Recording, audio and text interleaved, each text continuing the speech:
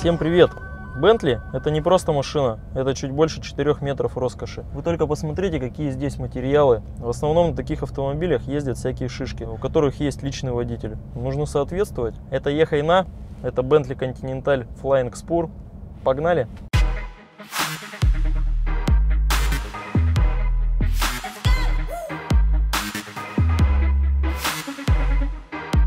Огромная решетка радиатора в сочетании с двойными фарами – это фирменный стиль компании, который узнается сразу. Хочу заметить, открывается он очень интересно.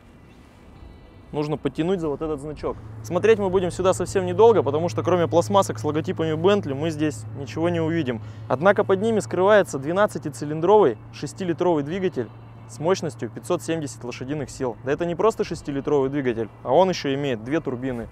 Вы представляете, как он валит? Я думаю, что да. Как мы понимаем, валит эта машина совсем неплохо, но после того, как вы разогнались, вам еще и нужно остановиться и сделать это как можно безопаснее. В этом нам помогают невероятного размера большие тормозные диски в сочетании с огромнейшими суппортами. Раз уж вы ездите на таком автомобиле и хотите чтобы все было в комфорте и в престиже, будьте добры платить за расходные материалы. Я вам назову только стоимость тормозных колодок. О ценах на остальные детали догадывайтесь сами. Колодки передние э, у официального дилера стоят в районе 50 тысяч рублей за комплект. А воздушный фильтр на этот автомобиль не такой уж и дорогой по сравнению с колодками, он стоит всего 7,5 тысяч. Но, опять же, их здесь два. Будьте готовы выложить пятнашку за них. Большинство владельцев этих автомобилей ездят на них, как ни странно, но на задних сиденьях. Это надо делать с комфортом. Предлагаю вам посмотреть вовнутрь.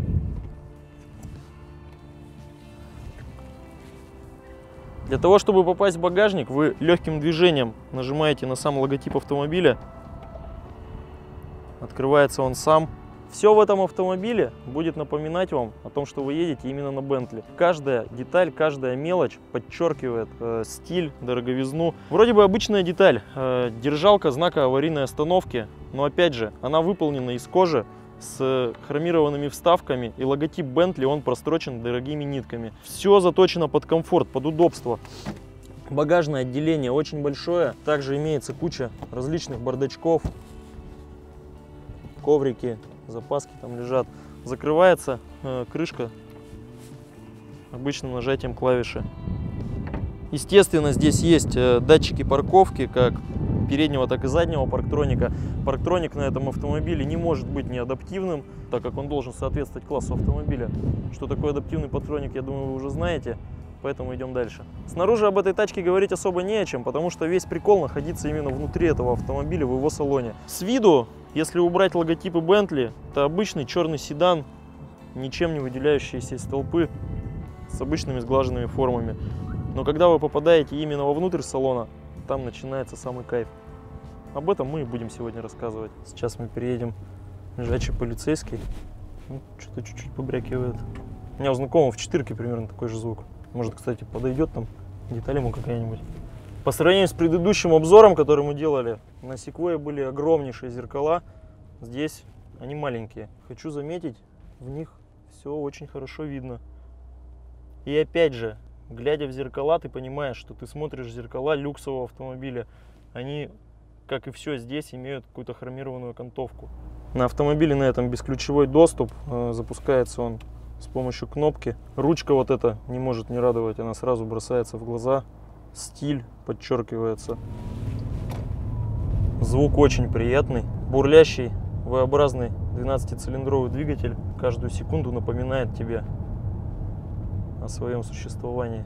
Кстати, мы едем 80 км в час, а кажется, что скорость не более 20. Сразу же бросилась в глаза отметка последняя на спидометре. 340 км в час. Думаю, с заявленными техническими характеристиками этот автомобиль должен справиться хотя бы ну, до 300 стрелка должна была дойти. Перед тем, как сесть в эту машину, я думал, что же я буду испытывать. И вы знаете, на удивление, ну да, ты едешь в Бентли, что-то должно быть такое, чего нет при езде э, в какой-то другой машине. Да, ты видишь всю эту роскошь, весь этот салон. Очень много внимания к мелочам, качество материала, всего всего, но необычного, вот прям чтобы захватило дух, как будто ты в космическом каком-то корабле, почему-то нет. Не знаю, может я еще не привык. Или к хорошему быстро привыкаешь, наоборот. Если честно, то на такой машине охота ехать медленно.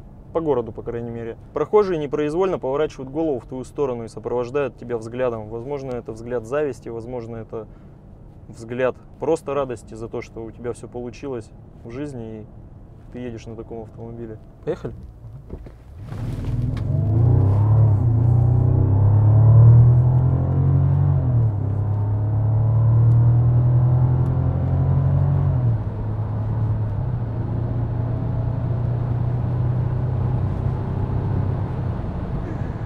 Мне показалось только что, что вы просто подпрыгнули. Вот так вот сделали. И пошел. Внутри сказать, что все трясется, это ничего не сказать. Прикольно, да. Даже при 180 км в час в салоне абсолютная тишина, как будто ты сидишь дома. Да, эта тачка валит. Проверять, сколько она валит, мы не будем, да это и незачем. Она не создана для этого, поверьте. Со своей задачей она справится, если вы захотите потягаться с кем-то на трассе. Разгон он просто неимоверный. Реально, при резком нажатии на педаль газа кажется, что машина просто подпрыгнула и устремилась куда-то вверх, в космос. Удовольствие езды в этом автомобиле, э, как спереди за рулем, так и пассажирам вам будет вполне достаточно. Этой машиной приятно не только управлять, но и ездить в роли пассажира. Ведь комфорту пассажиров здесь уделено, я думаю, даже больше, чем водителю, так как этот автомобиль премиум класса. В этом выпуске у нас э, очень мало времени для теста. Нам дали автомобиль всего лишь на полтора часа, из которых 20 минут времени заняла дорога, минут 15 подготовка и еще 10 минут заправка. То есть вы понимаете, как очень мало времени у нас для того, чтобы понять, рассказать вам как можно больше что-то про этот автомобиль. Для того, чтобы рассказать как можно больше, нужно самим еще вникнуть и понять, про что рассказывать. Так как ты не каждый день ездишь на такой машине, да я думаю, вообще мало кто ездит на такой машине каждый день. Если честно, рассказывать про вот эти все кнопочки, это все понятно. Да, вот здесь есть аварийка, она выполнена в очень таком стиле.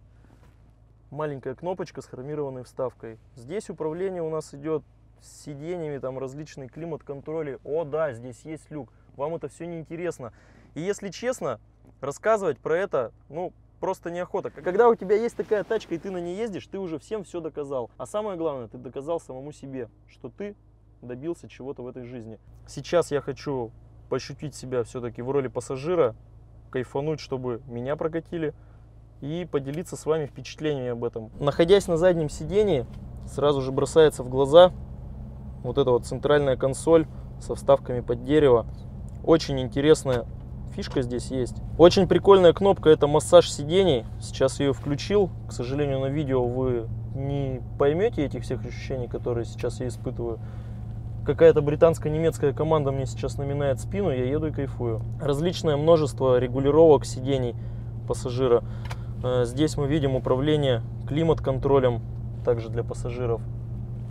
Потолок, что бросилось в глаза сразу же, это потолок и ручки, они также э, выполнены из элементов кожи.